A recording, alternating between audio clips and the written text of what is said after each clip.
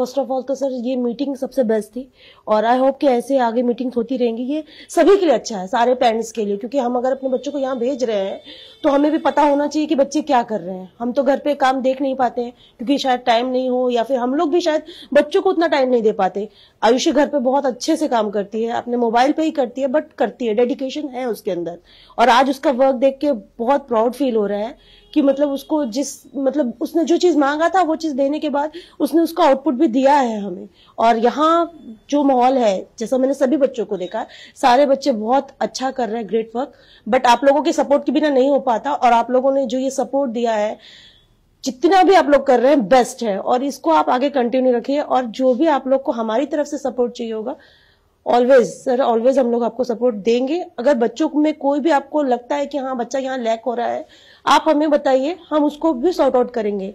और घर में तो हम लोग है ही देखने के लिए बट यहाँ आके बहुत अच्छा लगा। सभी का बहुत अच्छा सपोर्ट है हमें। बेस्ट विशेष तो अरीना बख्शीपुर और आई होप कि अरीना जो बख्शीपुर में है, ये और भी अच्छा रेंज अपना बढ़ाए और और भी बच्चे यहाँ पे आए और बच्चे यहाँ पर आकर अपने स्किल्स को बढ़ाएँ। और यहाँ जो भी सपोर्ट मिल रहा है, वो एज वेल ऐसे कंटिन्यू होता रहे।